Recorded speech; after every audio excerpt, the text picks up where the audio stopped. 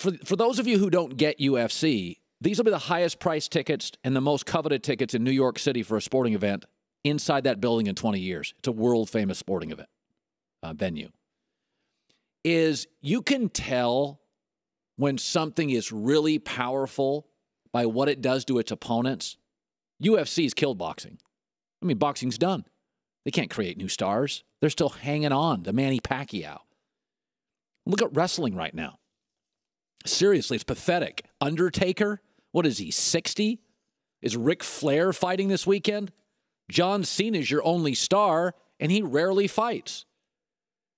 You can tell the quality of a business by what it does to its competitors. And if you put wrestling, theatric, fake, UFC, theatric, real, boxing, real, look what UFC's done to him. Conor McGregor, I said this when he fought Nate Diaz. It was Ali Frazier. Now, it was different, but it was Ali Frazier. Five guys in my room, all different ages, watching that fight, couldn't leave. Could not leave. I mean, look what's happened to boxing since UFC arrived. UFC has made boxing look dull and slow and inactive. And look what UFC has done to wrestling since UFC's really arrived. It's made it look less authentic, sad, desperate. The Undertaker, Triple H, Sting, Goldberg. God, do better. I mean, listen, you've always been a bunch of booger eating phonies. I mean, it's fake wrestling. But now look at wrestling. You can't create any young stars. You don't have the UFC's energy. You don't have their momentum. You've never had their authenticity. Wrestling now, we always knew it was fake. You can't even create stars anymore. I mean, you're you're like Paul McCartney at the Super Bowl.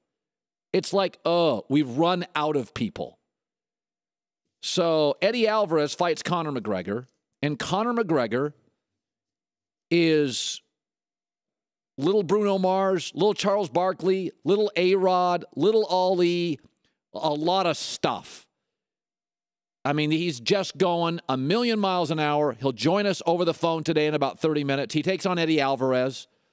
And Eddie Alvarez and Conor McGregor are going to have a weigh in, and it's going to get incredibly ugly. But when you watch this business, whether you like it or not, and you can arrogantly look past it and feel like we're number one, wrestling and boxing, look at what UFC has done to both. Boxing's like inactive, wrestling's like cornier and more desperate than ever. Here's Eddie Alvarez talking about the fight with Conor McGregor. Oh God, it's gonna be it's gonna be unbelievable. He's the least intimidating man I ever met. I never been face to face with a man, and my heart rate has not gone up or something. I felt inside emotionally. That never happened to me until I was on stage at the press conference at Madison Square Garden, where I literally felt nothing, and I felt the least uh, threatened in my life.